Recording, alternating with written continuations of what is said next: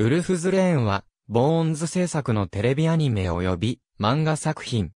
前者は2003年1月から同年7月まで、フジテレビ系列の一部で放送された。途中で、総集編4話が挿入され、ストーリーが完結せずに放送が終了した。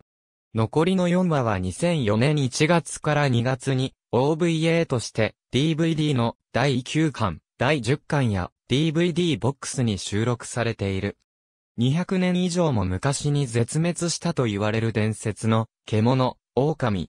しかし、実は、狼は時折その姿を人へと変え、人間たちの目を騙しながら、密かに生き延びていた。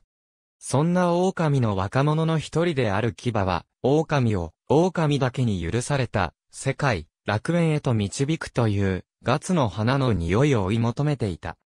そんな中で、爪、髭、トーボエラ狼の仲間たち、そして楽園一面に咲き乱れると言われる、ガツの花より、貴族が作り出した、花の少女、チェザと出会い、牙は彼らと共に荒廃した世界を舞台へと、長く過酷な旅に出る。一方、チェザの研究に没頭するあまり私生活を捨て夫の元を去るシェール。